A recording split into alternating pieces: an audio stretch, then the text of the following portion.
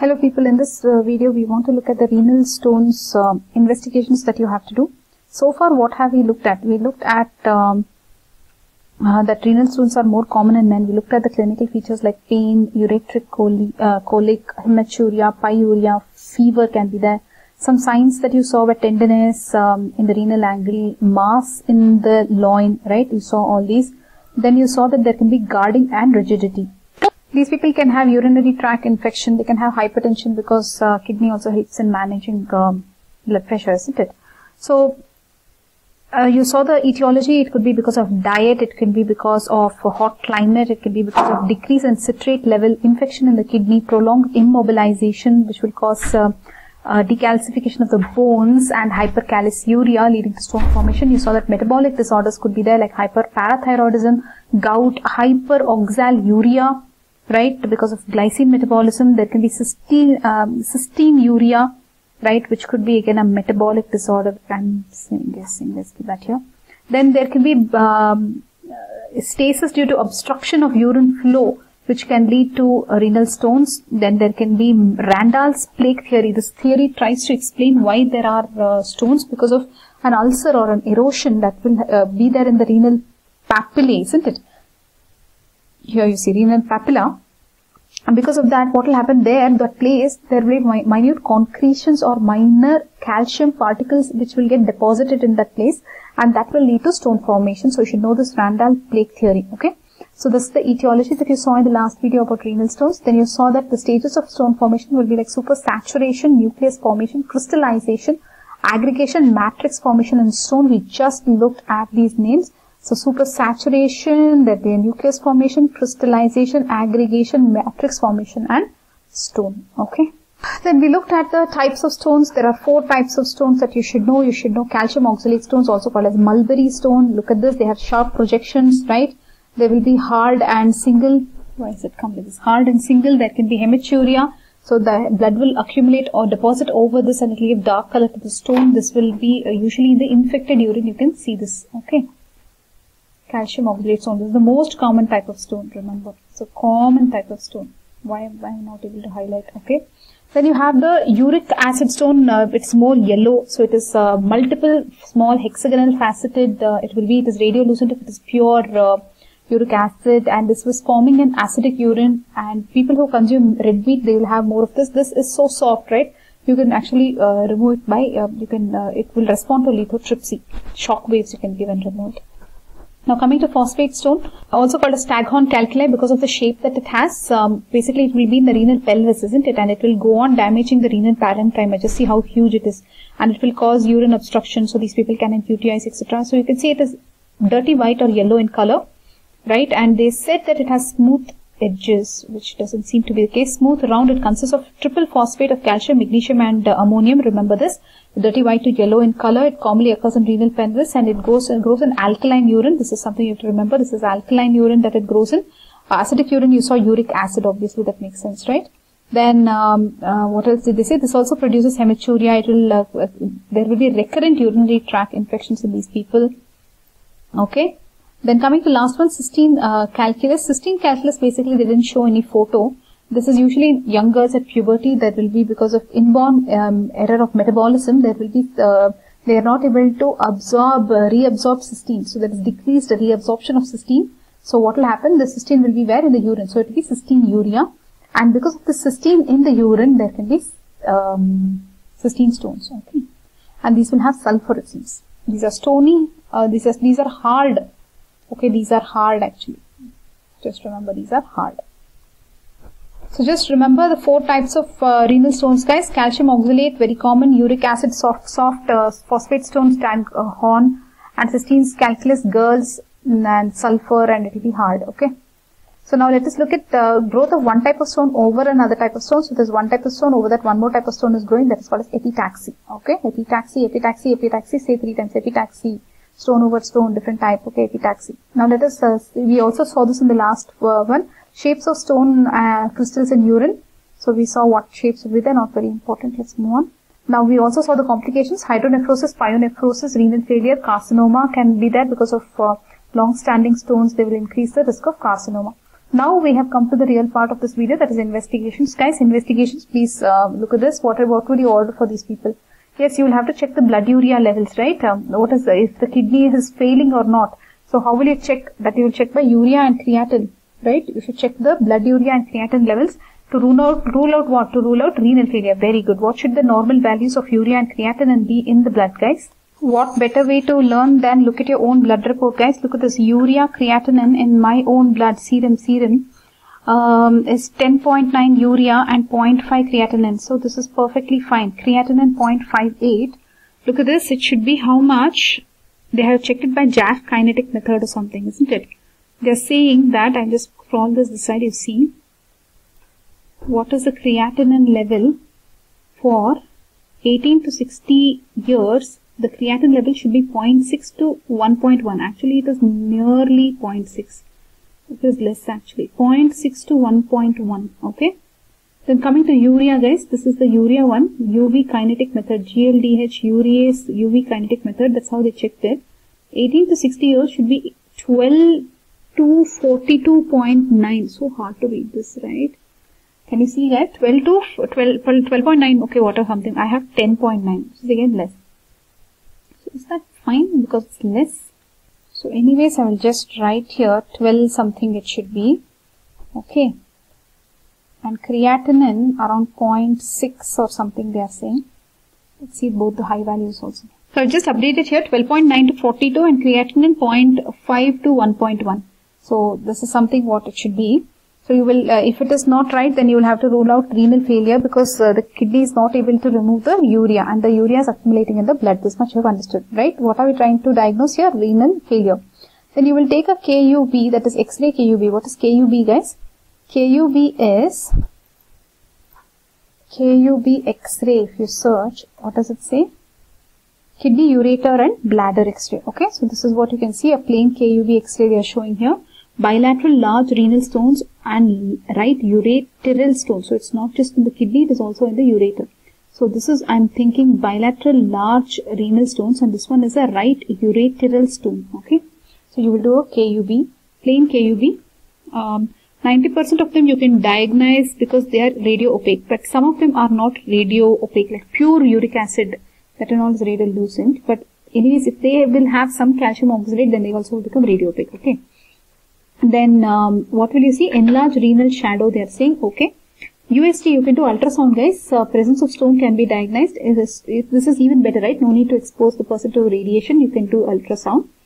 And uh, you can also know the exact size and location because you're getting a kind of a, um, a 3D kind of a thing, right? More than a, this is like a 2D. You won't exactly know at what depth it is, etc. But in USG you will be able to know the exact size and location, location of the stone, right? IVP, what is IVP guys? Intravenous pyelogram, is it? Pyelography. So it's an intravenous pyelogram. Let's just put the name here. Intravenous pyelogram. So basically this is also an X-ray kind of thing only, but it uses contrast material, okay? So what will you do here in this? You will use contrast. Contrast, okay, in X-ray then you take an X-ray. So you will locate the stone exactly in relation to the kidney and ureter and assess the renal function. So you will also assess the renal function because it's trying to clear the contrast from your body, isn't it? So you will also know the renal function. You will also be able to tell the exact uh, location of the stone. A non-radio opaque stone can be seen as a filling defect. So if it is non-radio opaque, that means in X-ray you were not able to find it, but at least in this, because of contrast, you will be able to see it because there will be a filling defect. You will be able to spot it as a filling defect. Hydronephrosis and hydronephroureterosis can be seen. So you can know any swelling because of urine um, uh, backflow. You can see hydronephrosis, hydronephroureterosis also. Okay. Then non-contrast CT. See, this one is nice because non-contrast, you don't have to give any contrast. So, non-contrast CT and contrast CT can uh, are used for more accurate detection of causes of abdominal colic. Okay, so now what they are using is actually non-contrast CT scan. Okay, because I know that somebody went in with this uh, suspected kidney stones and Manipal, actually Manipal hospitals in Bangalore actually did a non-contrast CT scan. Okay, very expensive. They will charge you around 10,000 for that. Urine uh, for culture and sensitivity. So you can check uh, for UTIs, guys. That's it. Don't forget this. You might forget this point. Okay, because of UTI, you'll have to check. So the investigations we are done, guys. So you understood the investigations for uh, renal stones. What and all you will do? Come on, let's summarize.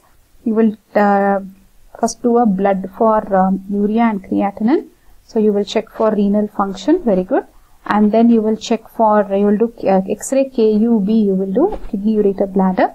Then you can do a IV pyelogram uh, because uh, intravenous pyelogram just because you want to know if there are some radio lucent kind of things, right? And then you can do CT scan which they spoke about non-contrast and contrast, two things they said. Then you will check the urine analysis uh, culture and sensitivity you will do because you want to know if there's any UTI and which antibiotic it is susceptible to. Did we miss anything in this entire thing? USG, oh yeah, USG. So you can do ultrasound also. Very good. So now let's move on.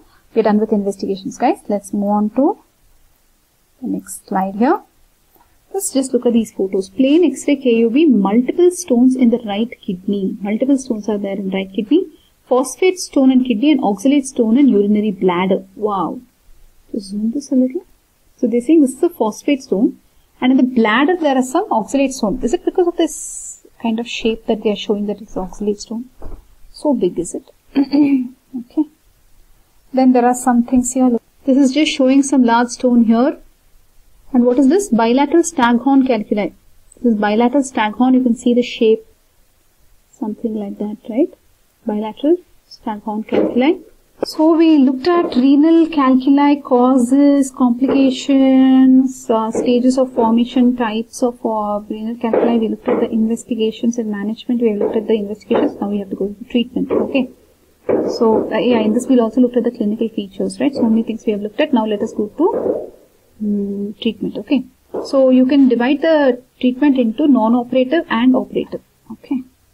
So non-operative, you can say conservative, extracorporeal shock wave lithotripsy. Just let's look at the high level, okay? Then we have to anyways go into details of all this.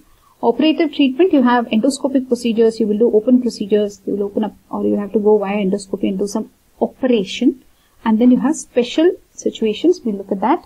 Now look at um, uh, these uh, open procedures. Open procedures have some names, guys. So basically you have pyelolithotomy, pyelolithotomy, nephrolithotomy, extended pyelolithotomy, py, pyelo nephrolithotomy, partial nephrectomy, nephrectomy. So these two are coming under nephrectomy. They're trying to remove a part of the kidney. Is it partial and nephrectomy? Okay, leave that. Here we are talking about lithotomy, lithotomy, lithotomy, lithotomy. Okay, all these we have to look at. Look at this photo here. It talks about all these procedures. Guys, look at this. Um, all the lithotomies guys. This one is nephrectomy partial. But as of now you won't understand. Let's read the text and then understand line by line. Let's get started with non-operative. Let's talk about conservative. Conservative conservative. See here you're not saying medical management because you're writing a surgery exam. If you're writing surgery exam don't use the word medical okay? So basically any stones which are less than 5 millimeter they will pass off by itself okay? If you just take lot of fluids right and you're doing some forced uh, urination, right? Diuresis. If you're just trying to push out everything, that forced diuresis, uh, not exactly urination, but forced diuresis is the word they are using. So then you will be able to push out these stones. If they are less than what? 5 millimeter stone. Okay. So what will you do in this? You will take water, lot of copious amounts of fluids you will take and you will do forced diuresis. Okay. So you can also give intravenous hydration, um, then you will give them furosemide. What will furosemide do? It is a diuretic. So they will be able to pass the pass the stone. So they are talking about IV hydration, IV furosemide they are saying. Okay. So all these are conservative. Okay. Conservative, not even, yeah, kind of just drink water. If it is less than 5 millimeters size stone, you should know this by the way. Then coming to extracorporeal shockwave lithotripsy. So what will you do? Here you will have a double J stent. Okay, we'll show you that. This one, see here. DJ stent. See this? DJ stent in place. Here also they're showing a plain X-ray showing right-sided renal stone with J stent on left side. Okay. So basically, after cystoscopy, a ureteric stent, a double J stent is placed into the ureter. So they, where are they placing this? They are placing the stent into the ureter. Wherever you have the large renal stone, whichever side has large stone, there you have to putting this. And after placing the stent, okay, so this is a stent. Wait. So I hope you're enjoying the background music. But anyways, this is a stent that they have placed. And then what they're doing, they're doing lithotripsy. So whatever stones are here, they're trying to break them off, right? Then what happens? These stones will get crushed and most of the stones will come out from where? From this stent. Very good. So, if it is uh, large stones, they have to do lithotripsy. So, they are doing extracorporeal shock wave lithotripsy. What do you mean by corporeal, guys? Body? It's strange that they're calling it as extracorporeal lithotripsy, isn't it? But ESWL, if they ask you in the exam, you will write extracorporeal shockwave lithotripsy. So shockwave lithotripsy, this part you know. You'll give shockwave and uh, lithotripsy you're doing, but you're also putting a stent here to bring the stones out. Just note that you cannot use this for cystine stones, guys. It is not effective in fragmenting cystine stones because of its crystal lattice.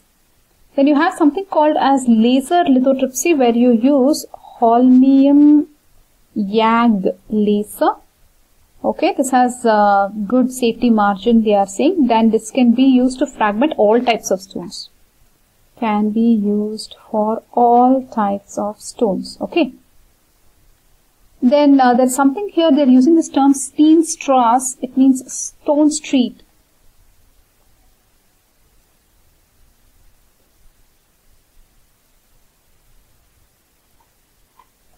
So what they are saying here is, guys, this word Steenstrasse is stone street. That is, so many stones are coming out, right? Like this.